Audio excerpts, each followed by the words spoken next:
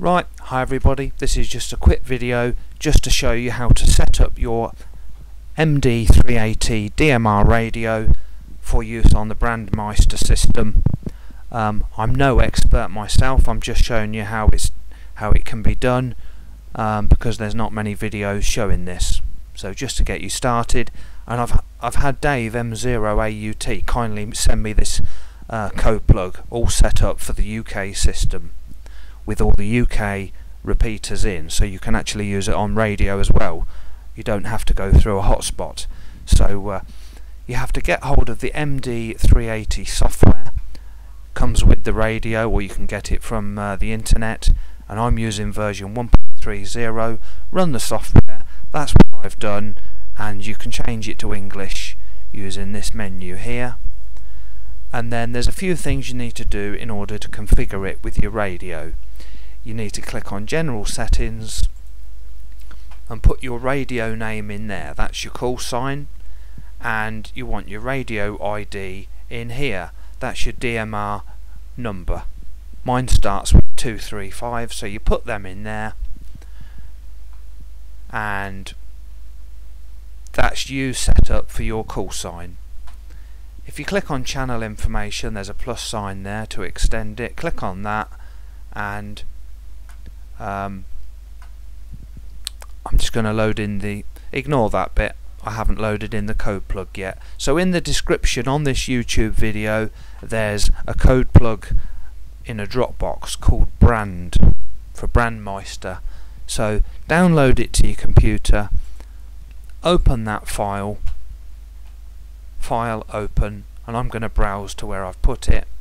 I've got it on my desktop so I'll open that click open. That's now in. So uh, like I said before put your settings in there for, for your call sign and your radio ID in general settings channel information you'll see all the repeaters carefully programmed in.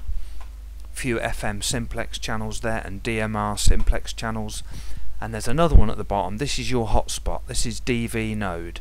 Click on that. You can give it a different name. I'm going to call mine BlueStack.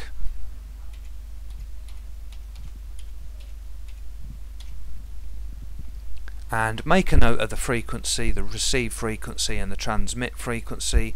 This has got to correspond with the frequency in your software. Either the software, if you're on BlueStack it will be the software on Android device on the BlueSpot software. So make sure this, this frequency corresponds with that. If you want to do it on the DV4 Mini you've also got to um, alter the software on whatever you're using that with, whether it's an, a Windows tablet or, or whatever. So that's most important. Get that in, and um, that will be your node sorted out. So I'm just going to close that, and it's renamed it here, BlueStack. Now you've now got your channel in, your BlueStack channel in for your hotspot but it's not going to show up. This is just the channel you've programmed in. You've got to put it into a zone. So if you let's minimize that.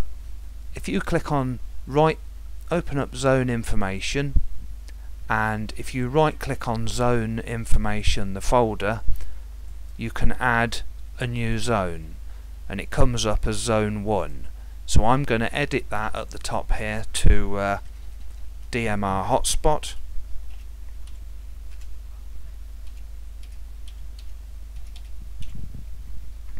And it's basically a folder which contains all the stuff you want to use.